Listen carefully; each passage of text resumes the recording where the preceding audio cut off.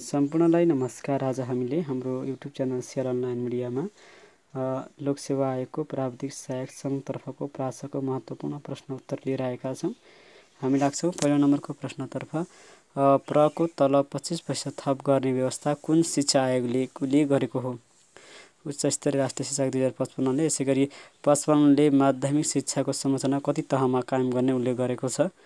तिन तहमा शिक्षा सम्बन्धी उच्च स्तरीय कार्य समिति दुई अन्ठाउन्नको गठन कहिले दुई हजार अन्ठाउन्न वैशाख उन्तिस गते यसै गरी माध्यमिक शिक्षा विकासका लागि स्थापित संस्था कुन हो? एसइडियु हो। टिचर एजुकेसन प्रोजेक्ट टिइपीको कार्यान्वयन अवधि कलदेखि कलसम्म सन् दुई हजार दुईदेखि दुई हजार आठसम्म। यसै गरी माध्यमिक शिक्षा सहयोग कार्यक्रम एसई एसपी कति जिल्लामा सघन रूपमा लागू भएको थियो? दस जिल्लामा। माध्यमिक शिक्षा सहयोग कार्यक्रम एसइएसपीलाई व्यवस्थापन गर्ने केन्द्रीय निकाय कुन हो? शिक्षा विभाग।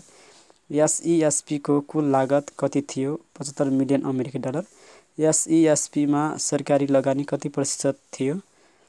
बिस प्रतिशत। एस एसइएसपीमा एडिबीको खर्च कति? एसियाली विकास ब्याङ्क खर्च कति गरेको थियो? चालिस प्रतिशत। एसइएसपीले शिक्षक शिक्षा र विकास क्षेत्र क्षेत्रमा कति प्रतिशत रकम खर्च गरेको थियो पचास प्रतिशत। शिक्षक शिक्षा परियोजना टिइपीलाई सहयोग गर्ने दात्री निकाय किन हो? एडिबी। टिइपीको कुल लागत कति थियो? चौबिस दशमलव एक मिलियन डलर। शिक्षक शिक्षा परियोजना सञ्चालन गर्ने केन्द्रीय निकाय कुन शशी जनसित विकास केन्द्र विद्यालय क्षेत्र सुधार योजना अवधारणा पत्र नेपाल सरकारले कहिले स्वीकृत गरे? दुई हजार छैसठीमा। एसएसआरपीमा कति भाग कति परिषद र परिशिष्ट दुई भाग। दस परिच्छेद र एघार परिशिष्ट। एसएसआरपीमा कतिवटा सूचक हुन्छन्? पन्ध्रवटा। एसएसआरपीको मुख्य विषयको क्षेत्र कतिवटा छन्? नौवटा। एसएसआरपीले सन् दुई हजार पन्ध्रसम्ममा कुल राष्ट्रिय उत्पादनको कति प्रतिशत रकम शिक्षामा खर्च गर्ने लक्ष्य राखेको थियो? दुई पोइन्ट पाँच।